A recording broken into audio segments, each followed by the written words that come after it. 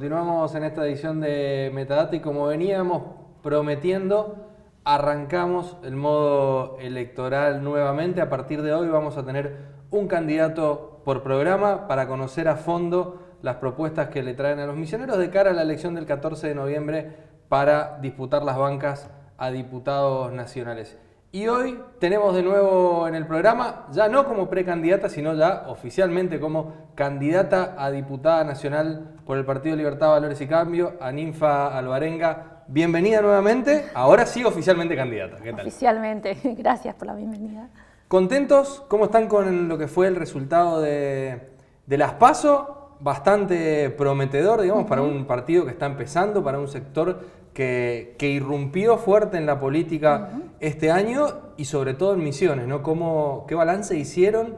¿Cómo se sintieron con estos 20.000 votos que lograron conseguir? Muy contentos, porque nosotros empezamos en mayo prácticamente, a, cuando bueno, habíamos conseguido el partido que se nos ofreció para, para entrar a las elecciones provinciales, eh, sin nada, sin conocimientos, sin recursos, eh, con eh, poca gente, digamos, y sin referentes en, el interior, sin fiscales, y se volvió a, repetir, en las pasos de, nuevo, ¿no? Eh, pero con todas las ganas y aparte eh, llevando las ideas de la libertad a donde pudiéramos, a las redes, a algunos medios que nos invitaron, entre ellos ustedes, por supuesto. Y de los 9.000 votos que habíamos sacado en las provinciales, pasamos a, 10 a 19.117 votos. O sea, más que duplicamos en cuatro meses que es lo que por ahí algún otro periodista decía, que el 20 de marzo nos había hecho una nota en la plaza cuando íbamos con nuestros cartelitos y todo, y dicen, bueno, acá, eh, fíjense, había seis personas, dice, y de marzo a septiembre, dice, de repente tienen casi 20 mil votos. Entonces, bueno, eh, en buena hora todo lo que se pudo lograr con mucho esfuerzo, mucho trabajo, mucho sacrificio, pero eh, con mucha convicción, que es lo que nosotros tenemos, digamos. Este crecimiento, ¿no?, de la elección provincial a la elección nacional, más allá del trabajo que, fuerte que han hecho ustedes, eh, ¿a, dónde, ¿a dónde lo ven o dónde ven que tiene la raíz? ¿En qué sectores de la sociedad es que, lograron arraigarse? Sectores me refiero a, puede ser sectores económicos, sectores culturales, sectores etarios, porque también ustedes tienen una llegada importante a los jóvenes. ¿Cuáles son los sectores a los que ustedes lograron arraigarse en estos casi tres meses para, para este crecimiento? Por empezar, los jóvenes los jóvenes están buscando, están buscando, digamos, eh, este movimiento. Eh, eh, nuestro problema siempre fue el, conocimiento. tenemos poco conocimiento porque no tenemos muchos carteles, o sea, tenemos uno, dos, algunos elefantitos por ahí, frente a la colosal, al colosal despliegue, digamos, que tienen los Goliaths de la política, ¿no? Nosotros no somos uno de ellos. Aparte, en este año recién estrenamos presentándonos Ninguno de nosotros es político tampoco, como para decir, bueno, eh, hay alguna forma de financiamiento que, posible para que nosotros podamos presentarnos y ser vistos por todos. Eh, pero bueno, eh, estos jóvenes son los que están empujando el mensaje de la libertad, las ideas de la libertad, y traen a otros pares también. Pero también nuestras ideas llegan a los comerciantes, a los empresarios, a la clase media, a la clase humilde también, como hemos visto que, pasó con Javier Milei en la Villa 31, por ejemplo. A mí me ha tocado ir a, barrios muy pobres, en Mado, eh, donde la gente eh, masivamente se, juntaba a escuchar y uno puede pensar, ah, pero ¿qué pueden entender de liberalismo? ¿Qué pueden entender, digamos, de libre mercado, de de, de repente libre mercado laboral y cuestiones como esas. Sin embargo, ellos entienden cuando eh, se dan cuenta que eh, ya la cosa no da para más, que cada vez son más pobres, que tienen menos posibilidades de aspirar a un futuro, que sus hijos también van a recibir planes o no van a tener trabajo, como lo que está pasando, eh, porque el, Estado cada vez interviene más en la vida de las personas, además, y además todas las empresas que puedan levantarse eh, son ahogadas con impuestos. Entonces recibimos adhesiones de todos los sectores de la sociedad, creo también, ¿no? Dos cuestiones que, menciona como para ahondar un poquitito más. Una que dijo, lo nombró a Javier Milei y eso era lo que le iba a preguntar. Eh, ¿Qué tanta influencia están teniendo esas figuras nacionales que por ahí tienen otra facilidad de llegar a, los medios, sobre todo a, los medios nacionales, digamos que sabemos que acá se consumen mucho, eh, televisión sobre todo, figuras como eh, Javier Milei que llevan el mismo mensaje que ustedes, cuánto empuja eso, cuánto ayuda, Y lo otro que recién mencionaba también esto de ser nuevos en la política, ¿no? De, gente cansada de sectores que no dan respuesta y de repente aparece un sector nuevo. ¿Son dos cosas que, sienten ustedes que les han ayudado mucho en este crecimiento? Sí, nos han ayudado mucho. Eh, gente cansada, pero también eh, yo hice una autocrítica, ¿no es cierto? Es decir, eh, siempre miré para el costado, no me involucré en política, a pesar de que yo me gusta la política, siempre me gustó, eh, siempre, digamos, este, miro todos los programas políticos habidos y, por, habidos y por haber, pero ya como una costumbre, digamos, los provinciales, los nacionales, siempre estoy mirando a ver las opiniones, a ver qué, se hace, qué no se hace, eh, pero nunca me involucré. pero ya llegó un momento en que si no nos involucramos, las, las personas, digamos, que que nunca hemos estado, personas que realmente queremos una transformación y un cambio, eh, me parece para cuando lo querramos hacer realmente eh, va a ser tarde. Entonces, eh, es como que dijimos, bueno, yo me levanto por mis hijos, por los jóvenes, eh, los jóvenes que quieren un futuro en su país, que no se quieren ir del país, que quieren ejercer profesiones en su país, que no quieren recibirse de abogado y terminar de taxista o tener que irse a Brasil, a, Paraguay, que están mejor económicamente que nosotros, que tienen menos impuestos, que tienen eh, libre mercado laboral, de repente como para, para uno por sus propios esfuerzos poder, eh, poder pensar en un futuro, poder salir a progresar, ¿no es cierto? Entonces, eh, todo esto que estamos viendo, además, que, fue un desastre toda, esta gestión de la pandemia, eh, la pérdida de libertades individuales que tuvimos, eh, las, libertades que están garantizadas en nuestra Constitución Nacional, fue lo que hizo, digamos, que bueno, que nosotros, digamos, salgamos de nuestro lugar de confort y digamos, bueno, vamos a involucrarnos. y no sabemos si vamos a tener una banca, es un esfuerzo inusitado lo que hacemos, pero eh, estamos plantando una semilla de libertad, una semilla de ideas nuevas, de ideas eh, que nunca se han aplicado en realidad en la Argentina, por más que muchos dicen que, acá ya hubo neoliberalismo y cuestiones por el estilo, pero para que un sistema sea realmente liberal eh, necesita de varias reformas. que son estas reformas, digamos, que Javier Milei a veces propugna, ¿no es cierto? Reformas de primera generación, de segunda generación y de tercera generación. Bueno, con el, con el tema de Javier Milei, eh, los jóvenes ya se referencian en Javier Milei por el tema de las redes, eh, porque él eh, ya desde hace mucho tiempo que está saliendo en los medios también, o sea, por lo menos cuatro o cinco años atrás que él está llevando adelante estas ideas, aunque lo han tildado de loco, este, no sé, a mucha gente no le gusta esa, esa, pasión que tienen los, modos, pero lo que pasa que a, muchos de nosotros nos llamó la atención los modos, eh, y después terminando, terminamos analizando las propuestas. que él hace. Y cuando las empezamos a analizar, no son las propuestas de un loquito, no son unas propuestas eh, que, digamos, no tengamos que intentar al menos acá en la Argentina para ver si de una vez por todas cortamos esta racha de 80 años de decadencia y de, bueno, de estancamiento económico, social, eh, que estamos viendo ya que está impregnando todas las capas de la sociedad. Arrancaron la campaña, están trabajando seguramente ya de cara al 14 de noviembre. Meternos ahora en qué le van a proponer a la gente, qué es lo que le llevan al misionero cuando van, cuando lo visitan, cuando charlan, como la propuesta de, este, del sector de ustedes, de Ninfa Alvarenga para el Congreso. bueno, eh, nosotros, como decimos siempre, eh, apoyamos una media liberal tal como la creación de la zona aduanera especial.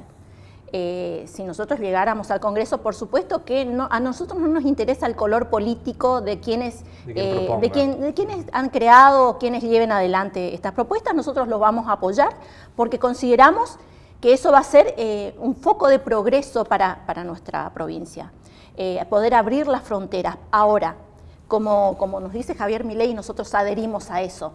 En una reforma de primera generación que es necesaria hacer, lo primero que hay que hacer es bajar el gasto público, antes de abrir las fronteras. Bajar el gasto público en 15 puntos, dice él. Esos 15 puntos estarían dados en contener el despilfarro, la mala administración, eh, los gastos innecesarios, improductivos, y la corrupción, que es nada menos, nada menos que de 5 puntos. A la par de eso, hay que bajar 10 puntos los impuestos, la presión impositiva. ¿Para qué? Para que las empresas tengan un respiro y puedan empezar a generar trabajo genuino y de calidad. Entonces, con un menor déficit fiscal, eh, va a haber menos emisión y ahí va a empezar a bajar la inflación. Eh, a esto se suman, obviamente, eh, todas las medidas que hay que tomar para flexibilizar el mercado laboral, que tienen que ver, por ejemplo, con la implementación de la mochila austríaca, que tienen que ver con eh, el acuerdo salarial entre, entre, patrón y empleado, sin la intervención de sindicatos o del Estado. Eso va, va, a la larga va a provocar que aumenten los salarios, que haya más empleo, frenar también todo el tema de la industria del juicio, a través de esta mochila austríaca que estamos diciendo, que es como un seguro de desempleo, eh, eh, obviamente que tiene que ser gestionado por empresas, eh, empresas a tal efecto, creadas a tal efecto, no por el Estado, en donde el, empleado tenga la capitalización del dinero, digamos, de su seguro de desempleo. similar a lo que eran las AFJP o lo que son las AFP en Chile? esta sería, esto se llama mochila austríaca, digamos, es un seguro de desempleo gestionado por X empresa que está creada a tal efecto, eh, en donde eh, se pone un bruto del salario del empleado. Entonces, eso se va capitalizando porque se mm. trabaja el dinero. Entiendo. Eh, y si te despiden, esa mochila es tuyo. Es tuyo.